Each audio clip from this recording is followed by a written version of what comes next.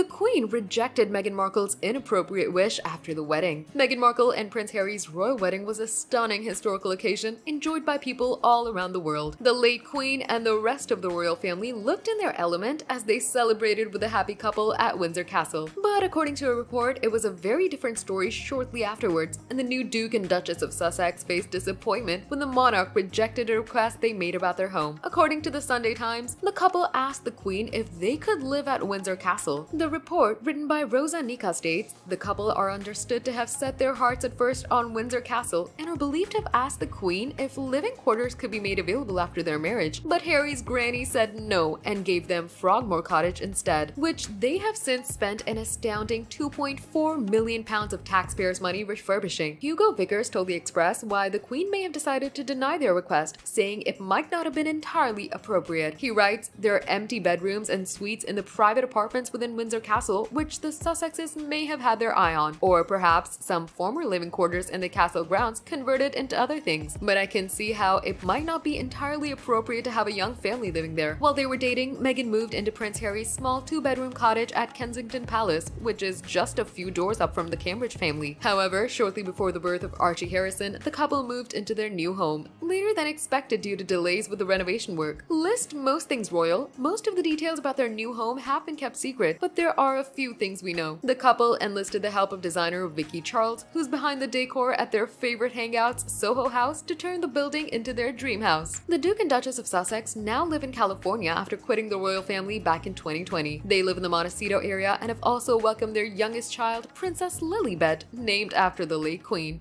Stay tuned for the latest celebrity updates. Hit the subscribe button and ring the notification bell for all the latest news. Don't forget to show your support by giving this video a thumbs up and sharing your thoughts in the comments below.